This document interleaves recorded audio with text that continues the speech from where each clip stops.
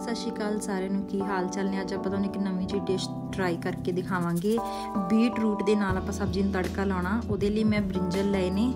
ਪੰਜ ਛੇ ਲੈ ਲਏ ਸੀਗੇ ਤੇ ਉਹਨਾਂ ਨੂੰ ਵਿੱਚੋਂ ਕੱਟ ਲਿਆ ਕਿਉਂਕਿ ਇਹਨਾਂ 'ਚ ਕੀੜੇ ਵਗੈਰਾ ਹੁੰਦੇ ਨੇ। ਤੇ ਨਾਲ ਮੈਂ ਦੋ ਟਮਾਟਰ ਲਏ ਨੇ, ਉਹਨਾਂ ਦੇ ਵਿੱਚ ਵੀ ਚੀਰਾ ਲਾ ਲਿਆ। ਤੇ ਨਾਲ ਮੈਂ ਦੋ ਲਏ ਨੇ ਪਿਆਜ਼ ਤੇ ਇੱਕ ਛੋਟਾ ਪੀਸ ਮੈਂ ਬੀਟ ਰੂਟ ਦਾ ਲਿਆ। ਇਹਨਾਂ ਸਾਰੀਆਂ ਚੀਜ਼ਾਂ ਨੂੰ ਚੰਗੀ ਤਰ੍ਹਾਂ ਸਾਫ਼ ਕਰਕੇ ਮੈਂ ਕੁੱਕਰ ਦੇ ਵਿੱਚ ਪਾਇਆ।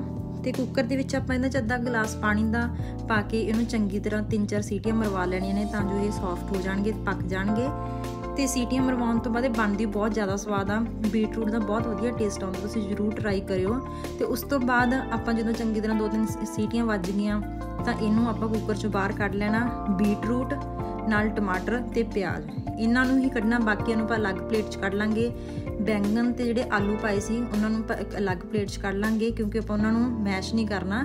ਪਹਿਲਾਂ ਕਿਉਂਕਿ ਇਹ ਸਾਰੀਆਂ ਚੀਜ਼ਾਂ ਨੂੰ ਆਪਾਂ ਗ੍ਰਾਈਂਡ ਕਰਨਾ, ਵਿੱਚ ਇੱਕ ਆਪਾਂ ਗ੍ਰਾਈਂਡਰ 'ਚ ਪਾ ਕੇ ਇੱਕ ਪੀਸ ਅਦਰਕ ਦਾ ਤੇ ਵਿੱਚ ਹਰੀਆਂ ਮਿਰਚਾਂ ਪਾ ਕੇ ਇਹਨਾਂ ਨੂੰ ਠੰਡਾ ਜਦੋਂ ਹੋ ਗਏ, ਵਿੱਚ ਥੋੜਾ ਲਸਣ ਪਾਵਾਂਗੇ। ਠੰਡਾ ਹੋ ਗਿਆ ਤਾਂ ਇਹਨਾਂ ਨੂੰ ਆਪਾਂ ਗ੍ਰਾਈਂਡ ਕਰ ਲੈਣਾ। ਦੂਜੀ ਸਾਈਡ ਕੜਾਹੀ ਦੇ ਵਿੱਚ ਥੋੜਾ ਜਿਹਾ ਜੀਰਾ ਲੈਣਾ ਤੇ ਨਾਲ ਥੋੜੀ ਜਿਹੀ ਆਪਾਂ ਇਹਦੇ ਚ ਹਿੰਗ ਪਾਉਣੀ ਆ। ਹਿੰਗ ਜੇ ਸਟਰੋਂਗ ਆ ਤੁਹਾਡੇ ਕੋਲੇ ਤਾਂ ਤੁਸੀਂ ਉਸ ਹਿਸਾਬ ਨਾਲ ਇਹਨੂੰ ਥੋੜੀ ਘੱਟ ਪਾ ਲਿਓ।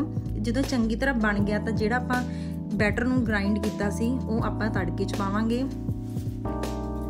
ਤੇ ਫਿਰ ਇਹਨੂੰ ਚੰਗੀ ਤਰ੍ਹਾਂ ਬਣਨ ਦਵਾਂਗੇ। ਮਤਲਬ 10 ਤੋਂ 12 ਮਿੰਟ ਇਹ ਤੜਕਾ ਬਣਨ ਚ ਲੱਗੂਗਾ।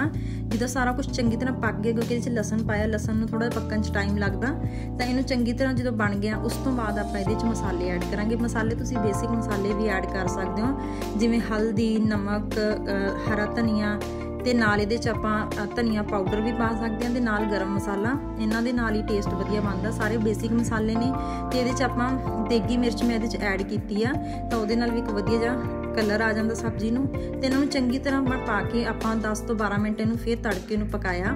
ਤੇ ਉਸ ਤੋਂ ਬਾਅਦ ਜਿਹੜੇ ਆਪਾਂ ਬੈਂਗਨ ਤੇ ਆਲੂ ਅਲੱਗ ਕੱਢੇ ਸੀ, ਫਿਰ ਆਪਾਂ ਉਹਨਾਂ ਨੇ ਚ ਮਿਕਸ ਕਰਾਂਗੇ। ਮਿਕਸ ਕਰਕੇ ਉਹਨਾਂ ਨੂੰ ਚੰਗੀ ਤਰ੍ਹਾਂ ਮੈਸ਼ ਕਰ ਲੈਣਾ ਇਹਦੇ ਵਿੱਚ। ਤੇ ਉਸ ਤੋਂ ਬਾਅਦ ਇਹਨਾਂ ਨੂੰ ਢੱਕ ਦੇਣਾ। ਢੱਕਣ ਤੋਂ ਬਾਅਦ ਇਹ ਉਹੀ 10-15 ਮਿੰਟ ਹੋਰ ਲੈਣਗੇ ਬਣਨ ਨੂੰ ਤੇ ਇਹ ਆਪਣੀ ਜਿਹੜੀ ਸਬਜ਼ੀ ਬਣ ਕੇ ਤਿਆਰ ਹੋ ਗਈ। ਬਹੁਤ ਹੀ ਜ਼ਿਆਦਾ ਸਵਾਦ ਬਣੀ ਆ ਤੇ ਬਸ ਉਹੀ ਅੱਧਾ ਤੋਂ ਪੌਣੇ ਘੰਟੇ ਦੇ ਵਿੱਚ ਬਣ ਕੇ ਤਿਆਰ ਹੋ ਜਾਂਦੇ ਸਾਰਾ ਸਬਜ਼ੀਆਂ ਕੱਟਣ ਤੋਂ ਲੈ ਕੇ, ਤਿਆਰ ਕਰਨ ਤੋਂ ਲੈ ਕੇ। ਤੁਸੀਂ ਜ਼ਰੂਰ ਟਰਾਈ ਕਰਿਓ, ਬਹੁਤ ਜ਼ਿਆਦਾ ਸਵਾਦ ਬਣਦੀ ਆ।